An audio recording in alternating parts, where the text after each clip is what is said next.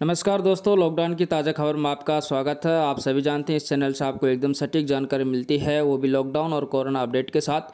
दरअसल दोस्तों, एक आदेश आया है जो विवाह, बारात और शादी से संबंधित है। इसमें शामिल होने वाले लोगों से संबंधित है। इसके बारे में जान लेते हैं, क्योंकि ये जानना बहुत ही ज़रूरी है। आप सभी जानते हैं इस चैनल से प्रत्येक ज़िले के लॉकडाउन से संबंधित और हर क्षेत्र से संबंधित जो खबर हैं, आप तक सबसे पहले पहुँच रही हैं। आप किस ज़िले से हैं कमेंट कर कर ज़रूर बताएँ। आपके ज़िले से संबंधित लॉकडाउन और कोविड नाइन्टीन की अपडेटेड न्यूज़ आपको सबसे पहले इसी चैनल के माध्यम से ज़रूर मिलेगी। दोस्तों, ये जो खबर आई है, ये दौसा ज़िले से आई है। इसके बारे में जान लेते हैं। यदि आपके घर में शादी है या फिर आप किसी नज़दीकी रिश्तेदार के यहाँ शादी समारोह में शामिल होने जा रहे हैं तो ये खबर आपके लिए काफ़ी अहम है। वैसे तो कोरोना काल में होने वाली शादियों के लिए सरकार नियम के अनुसार मेहमानों की संख्या पचास तय है। पचास है दोस्तों, किसी यानी कि एक अफवाह भी फैल रही हुई है कि पाँच लोग ही सम्मिलित होंगे जो कि पूरी तरह झूठ है। मैं आपको बता रहा हूँ, इस चैनल से जो भी जानकारी मिलेगी, सटीक मिलेगी। चैनल को सब्सक्राइब करना बिल्कुल ना भूलें।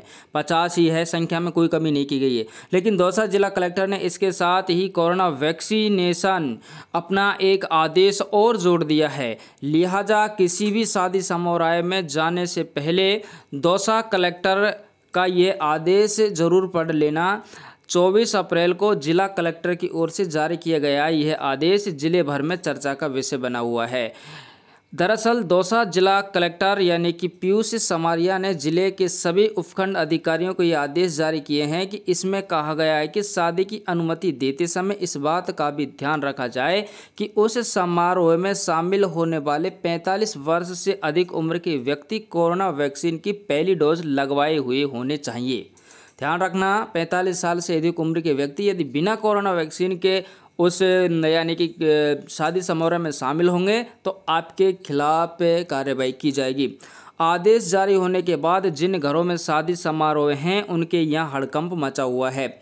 जिनके घरों में शादियाँ हैं, वो लोग वैक्सीन लगवाने में लगे हुए हैं। इसके साथ ही वे अपने परिचितों और रिश्तेदारों से भी इस बात का आग्रह कर रहे हैं कि वे शादी में आए आए लेकिन वैक्सीन लगवा कर ही आएँ। आगे हम इसके बारे में आपको और विस्तार से बताएँगे। साथ में उस ऑफिशियल नोटिफिकेशन को भी बताएँगे, क्योंकि पूर्ण सत्यता की न्यूज़ यहाँ पर दी जाती है। कलेक्टर के इस आदेश के बाद उपखंड अधिकारी भी शादी समारोह के आयोजकों से इस बारे में शपथ पत्र ले रहे हैं। यहाँ फिर उन्हें आदेश की पालना के लिए पाबंद किया जा रहा है। शादी के लिए अनुमति देने के साथ ही उनसे कहा जा रहा है कि शादी में पैंतालीस साल से ज़्यादा उम्र के किसी उसी मेहमान को शामिल करें जो कोरोना वैक्सीन की पहली डोज डोज लगवा चुका है।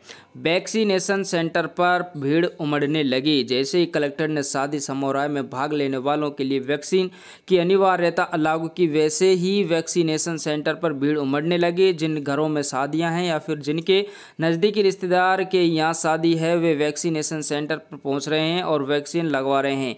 वैक्सीन लगवाने वालों से जब पूछा गया कि काफ़ी दिनों से वैक्सीनेशन का कार्यक्रम चल रहा है, ऐसे में इतने दिनों बाद वैक्सीन क्यों लगवा रहे हैं तो सभी ने जिला कलेक्टर के आदेश का हवाला दिया है। और दोस्तों, ये है वो ऑफिशियल नोटिफिकेशन। आप देख सकते हैं, कार्यालय कलेक्टर एवं जिला मजिस्ट्रेट दौसा के द्वारा ये जो आदेश है, वो जारी कर रखा है।